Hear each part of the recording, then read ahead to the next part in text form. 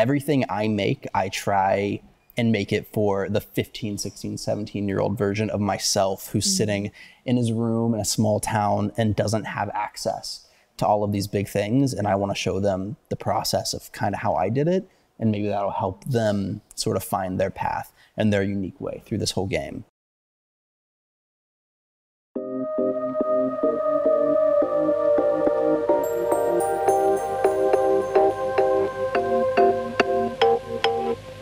Name is Tyler Babin. I live in New York City, and I'm a 2019 Adobe Creative Resident focusing on videography, doing a docu-series around building and sustaining online audiences, the, the behind the curtain of what it takes to actually be an influencer in the modern day.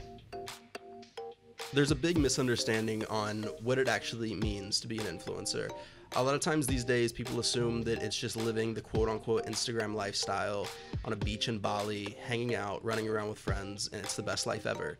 But there's an insane amount of work that goes into it that a lot of people don't see. Being an influencer isn't just about numbers, it's not about posting pictures of a great lifestyle, selling random products. Being an influencer, in my definition, is do you have the ability to mobilize people around a movement? social is the platform, right? It's like the new billboard. It is the barrier of entry for like winning in the current day.